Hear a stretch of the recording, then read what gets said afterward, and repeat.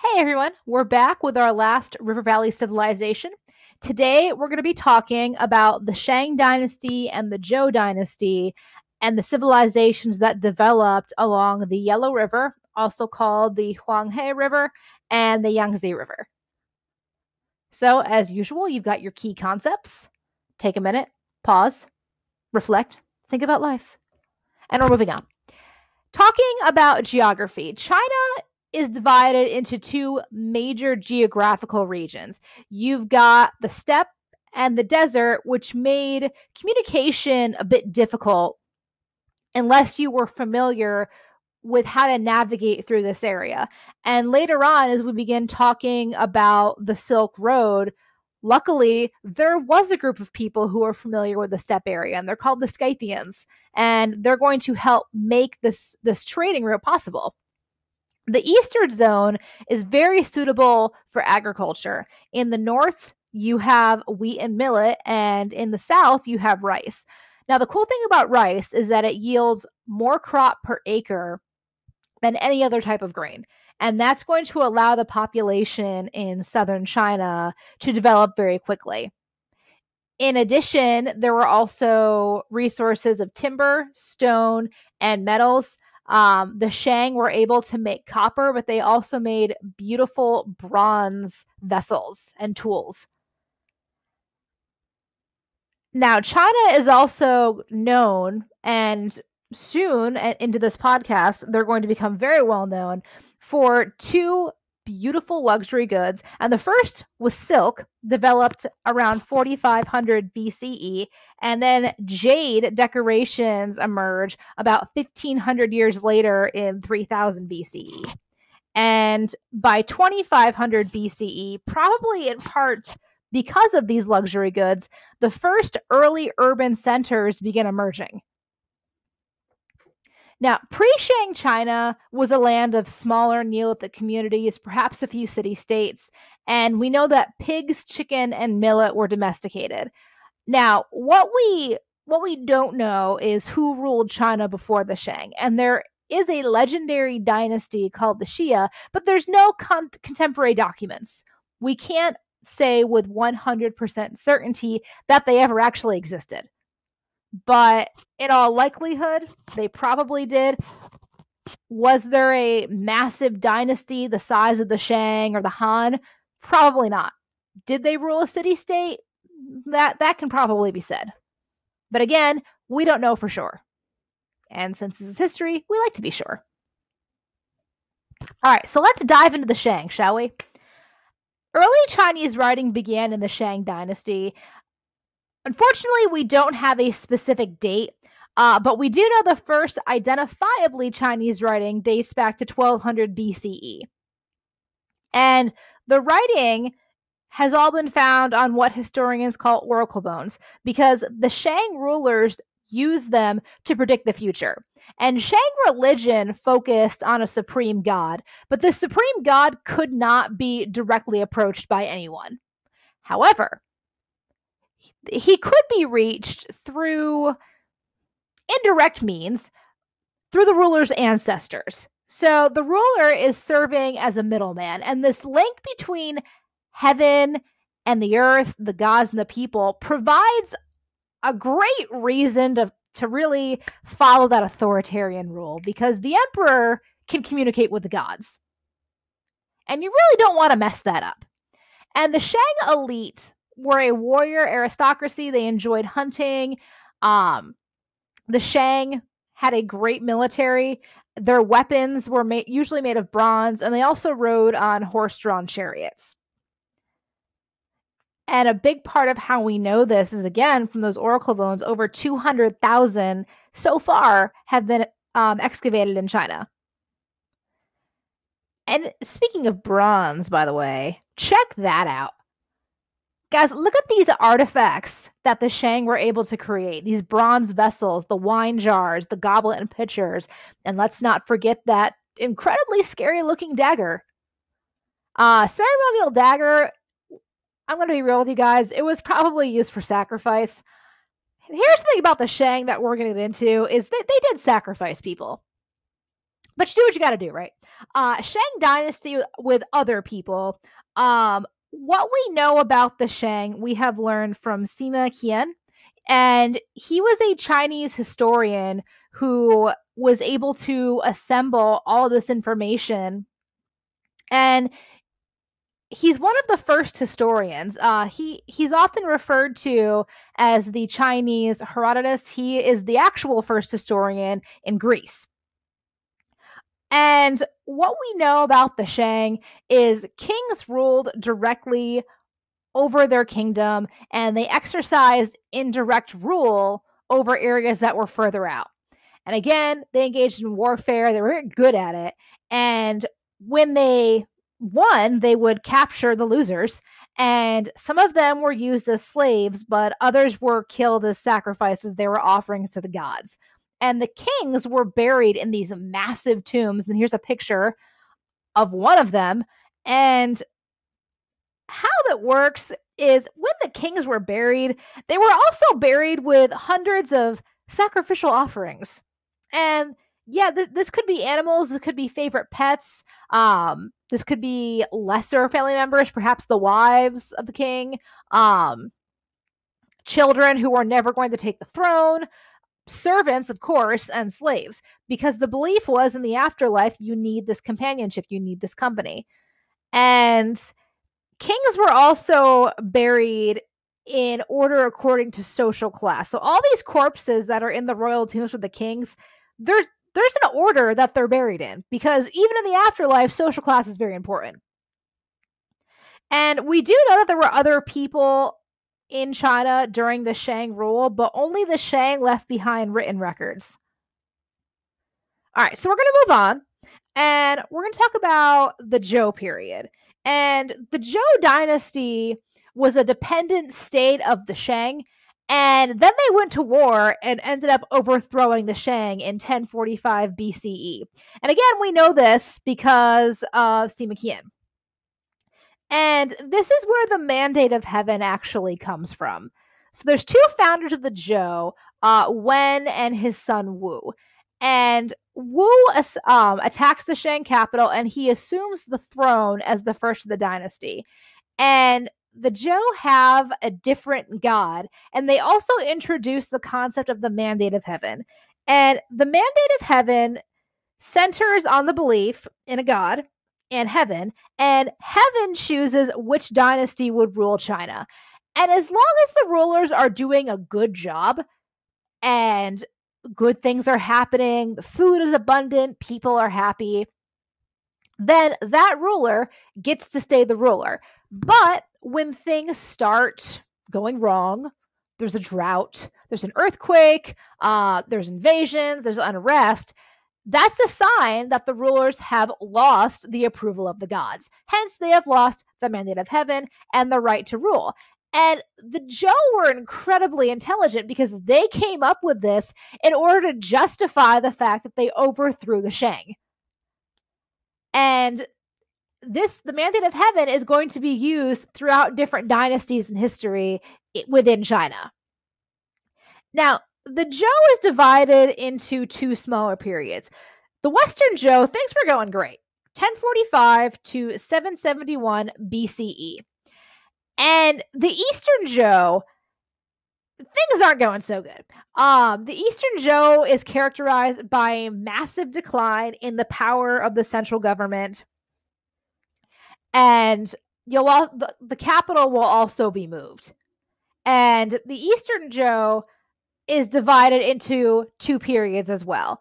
Um, you've got the spring and autumn period, and you've got the warring states period. And the spring and autumn period is not as as chaotic as the warring states period.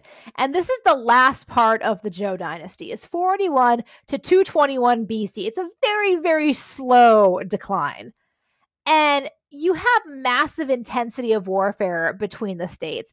And pretty much the uh warring states period the last part of the zhou you've got different factions breaking off and the zhou are pretty much only ruling in name there's incredible amounts of bloodshed and fighting And beginning of the third century BCE, only seven major states remained, and each were seeking security by building these massive walls and creating large armies.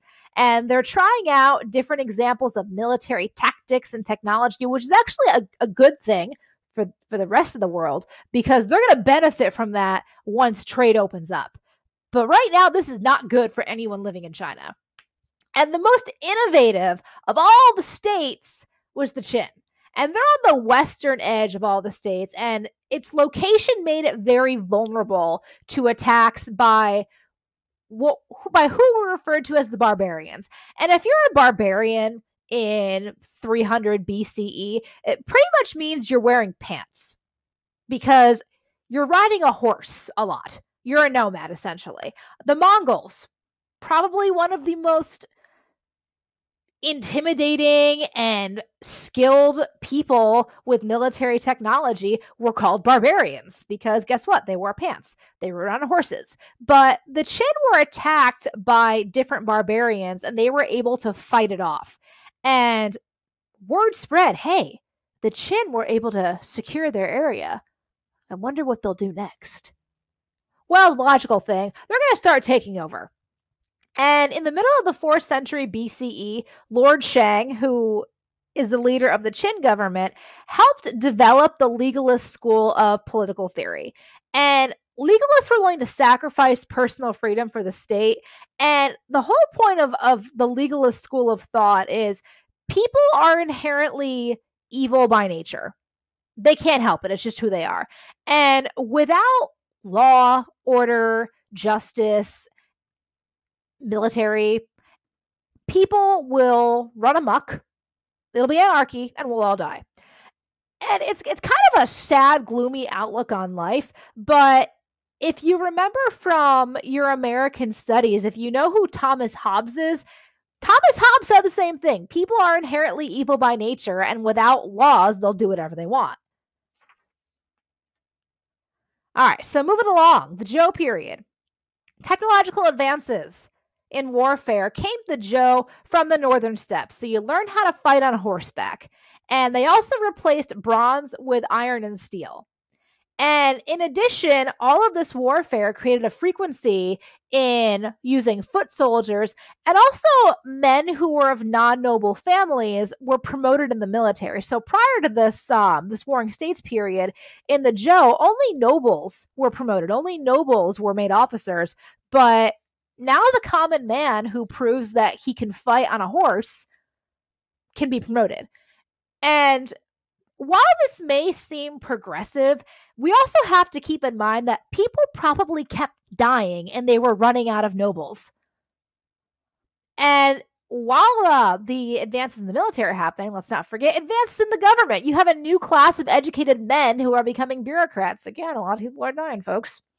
And they're also recording data for the rulers. They're administering the government's business, they're offering advice. And in the meantime, of course, religion is still playing a very important role. Women, regardless of class, were expected to live a life of subservience to their husbands. Um, women were meant to stay indoors. Uh, most most homes in China had what was called the woman's room, and this is where women would go during the day to do household chores. And here's a lovely chart: the mandate of heaven. So after several generations, the new dynasty is aging. They neglect their duties. Things are corrupt. They lose control of the provinces. Heavy taxes. Guys, taxes, anytime an empire is going to collapse, look for the taxes. Allows um, defensive walls to decay. First of all, when the walls go up, that's a problem. You know, that's another sign that the empire is going to poo poo out when the walls are put up. And then when the walls start decaying, that's even worse. All right, let's talk religion for a few minutes. Confucianism and Taoism. So, Confucius was born in 551 BCE. And the only record that we have of Confucius is found in the Analects. And it's a record of discussions, conversations, um, quotes that he made uh, that he said and Confucianism is very different than legalism because Confucianism assumes that human nature is essentially good. And there's also a certain view of the universe, society, family, everything has a hierarchy. And there's five key relationships that go with Confucianism and you have you have to maintain these relationships in order to maintain society. And they also establish the moral foundations of government, again, the Analects. Confucianism doesn't discuss the afterlife or the supernatural, though, and as a result, it's more often viewed as, as a philosophy than a religion. It um Taoism, however, Taoism is a very go with the flow and the earliest Taoist texts date back from 300 BCE. And Taoist and Confucian texts are found side by side, and that reveals that they were not perceived as a competing belief system. Taoists believe that the way includes learning to meditate and to control one's breathing and life force. And what we know about the Tao, it's very connected with nature. There's no absolute moral standards, and people should really just take the world as they find it. All right, so just a quick review pastoral nomads of the Eurasian steppes. 1000 to 100 BCE. Um, we know they didn't settle in one place. They moved from one place to the other. They were probably either nomadic hunter gatherers, but we do know later they would become herders. And for most of human history, there's always been hunter gatherers. There are still hunter gatherers today, um, but these people will be found um, in Western Asia and they'll also later be living in Mongolia. Um, the steppe nomads, don't know. Okay, there we go. That's fine. Um, steppe nomads could do anything on horseback. They were warriors, they were herders. Um, the steppe nomads in particular lived in what's modern day Hungary to southern Siberia. And nomads didn't possess any writing technology. So all we know about them, we know from somebody else who was not a nomad. And again, you're wearing pants that makes you a barbarian. So everything we do know about these people comes with some kind of bias. The Scythians. Um, these were people, and again, the Greek historian Herodotus describes them as a warlike people. Well, that's great. Um, living to the north of the Black and Caspian Seas. And there were, again, no permanent settlement, driving livestock. And because uh, they're very mobile, they need again they need to be to be able to do anything on horseback so their military capabilities are incredible they were able to resist invasion by very large empires, and Persia is a great example. Um, empires found it a little difficult to control these people because the borders were very fluid. But again, what you have to remember is everything we know about these people, we're getting it from the people that were either afraid of them, that didn't like them, or that perhaps lost to them. Now, the Scythians are never going to invade Persia, but they are able to keep Persia away from them. That's a very important distinction. All right. So, uh, the Xiongnu nomads, we're going to talk about them quite a bit later, especially when we move into the Han. Um, they're a group of nomads that actually will form, um, they'll come together and they'll create the Xiongnu Confederacy. And they are going to be um, a struggle for every single dynasty because they're um, coming in, they're invading, they're very skilled um, military fighters on horseback. If you don't have a horse, they can run you down. It's, it's kind of intimidating. So some dynasties we'll see are are buying them off with gifts. Have some food, have some silk. Here, marry my daughter. Um, other dynasties will actually fight them off.